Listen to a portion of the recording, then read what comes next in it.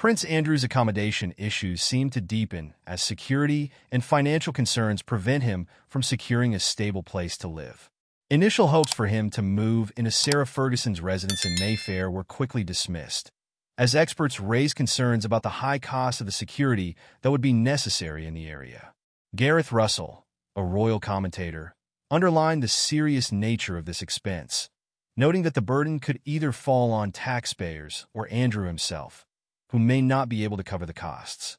In another twist, it's reported that King Charles himself is attempting to evict Prince Andrew from his current residence at Royal Lodge due to unpaid maintenance fees.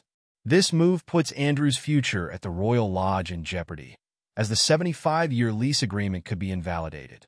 Public perception only adds to Andrew's precarious situation, with the prince consistently ranked as one of the least popular members of the royal family. His continued reliance on taxpayer-funded security and housing has only heightened public discontent. The idea of moving Prince Andrew to another of Sarah Ferguson's properties in Belgravia has also surfaced, but this option comes with similar issues. The location would still necessitate expensive security measures, which raises both financial and ethical concerns, especially given the prince's tarnished public image.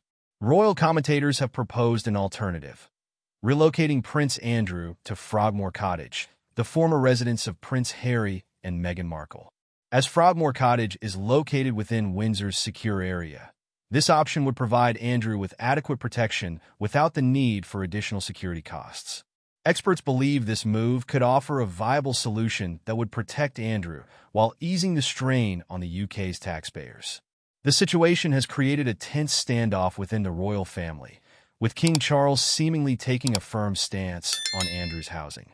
Despite their shared history and the protections once afforded to Andrew as a member of the royal family, his current predicament underscores the precariousness of his position within the firm.